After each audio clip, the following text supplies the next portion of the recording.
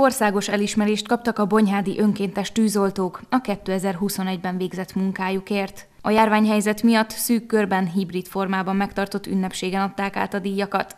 Az év önkéntes tűzoltó egyesülete címet a Bonyhádi Öte kapta, amit Miklós Roland elnök vett át az Országos Katasztrófavédelmi Főigazgatótól. Ezt a, a díjat azért sikerült az Egyesületnek elnyerni, mert folyamatosan minden egyes káreseményen részt tudunk venni.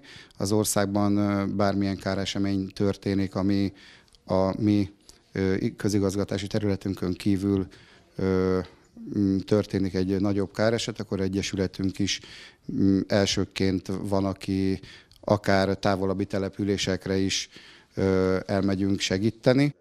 2021-ben 80 esethez vonultak az önkéntesek, emellett a Völgységi Tűzoltó Múzeum értékeinek bővítésében és fenntartásában is nagyon sokat munkálkodnak. Az ő tevékenységükben a hangsúly az önkéntességen van, hiszen mindenféle díjazás nélkül saját szabadidejük terhére segítik a bajba jutottakat. Egyesületünk 35 főből áll, amiből 15 vonulós tagunk van. Én, tehát vonulós tagot mindig szívesen látunk, meg, meg pártoló tagokat is mindenki szívesen látunk az Egyesülethez.